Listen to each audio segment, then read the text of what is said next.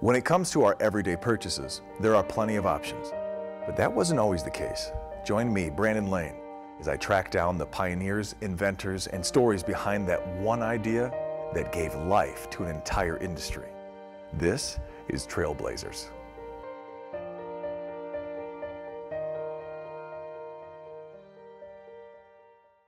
Any new parent will be familiar with the barrage of infant mobility options.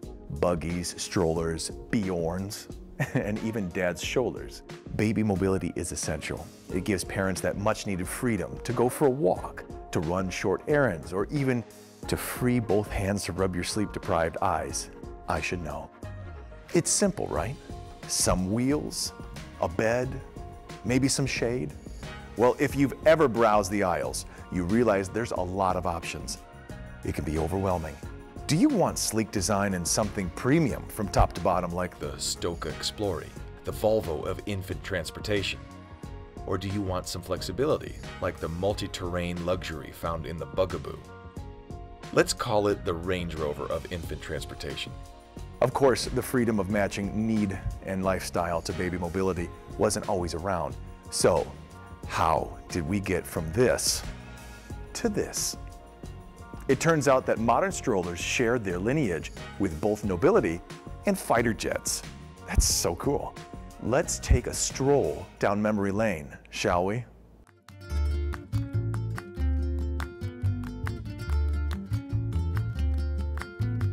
Before there were any type of stroller, parents carried babies in slings or primitive backpacks. Hurts the lower back just to think about it, right? Good thing we have chiropractors nowadays. The stroller had its beginnings in England in the 1700s when a landscape architect named William Kent designed the first carriage with wheels. Like so many inventions back in the day, it was designed for nobility. This also meant it came with a hoity-toity name, the pram. This first pram was created specifically for the Duke of Devonshire. I want to talk like I'm from England every time I say that. And it was actually pulled by animals prancing ponies. Not exactly something you can bring inside the coffee shop, right? In the 1800s, the stroller finally started gaining traction. A toy maker named Benjamin Potter Crandall manufactured a new design where you could push it. Imagine that, revolutionary. Even without ponies pulling, it was still seen as a luxury item for the wealthy. Luckily for the Crandall legacy, Benjamin's son Jesse took over the business and added features that kept interest alive. The younger Crandall, also a tinkerer with an engineer's mind, added a brake, experimented with folding models, and even added parasols to some. But not all, just a few. These innovative features attracted Queen Victoria, of all people, who purchased three. This royal endorsement launched the stroller into mainstream popularity. Even back then, the royal family made waves. It's crazy. Meanwhile, in the US, an African-American inventor named William H. Richardson created a patent to change the shape of the carriages from a bell shape to a basket shape. This change meant it could be positioned facing in or out, allowing for more mobility. But that was basically it. Apparently, it wasn't broken, so they didn't fix it. There were no major improvements for almost 150 years.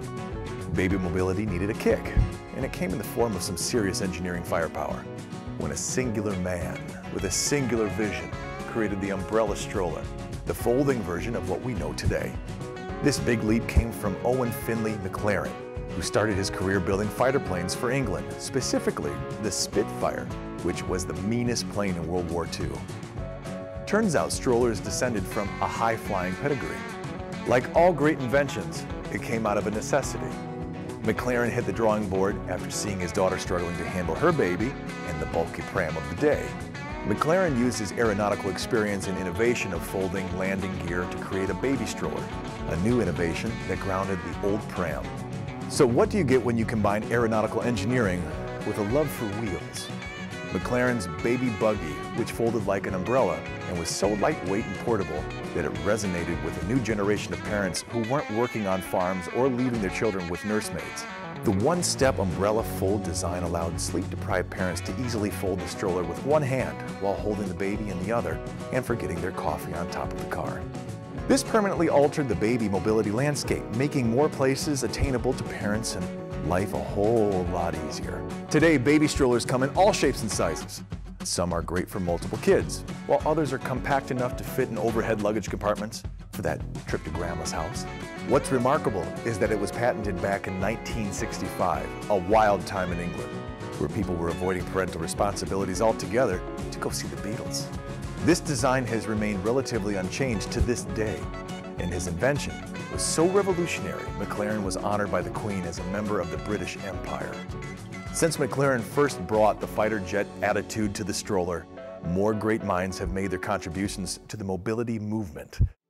The folks at Stokke were the first to blend style with function when they incorporated Scandinavian design with precision engineering to create a protective reclining stroller seat for the baby's comfort. More importantly, these buggies are lab tested to ensure that they are secure. Safety and comfort? Yes, please. The soaring spirit of Owen's airplane days lives on through Stokke's maneuverable swivel wheels, which make steering a breeze. And who needs a horse-drawn pram when you can pop the top in the car, right? Stokke even makes moving from park to pavement easy with their car seat and carry cot for newborns. Guava Family, a California company dedicated to making life easier for parents, ditched the wheels altogether, creating the Lotus Travel Crib. This crib playpen hybrid pops right onto your back for the baby on the go. Baby mobility brings so much value to our lives, from allowing our bundles of joy to get some fresh air, to bringing the kids to meet grandma and grandpa. What started as pony pulled luxury has become an irreplaceable part of our lives. Unlike other inventions, no one person can claim total credit. Each inventor, innovator, and dreamer improved upon the work and creativity of others. This process has given us an incredible variety of options that suit our lives, influenced by airplane engineers, toy makers, and even bored dukes.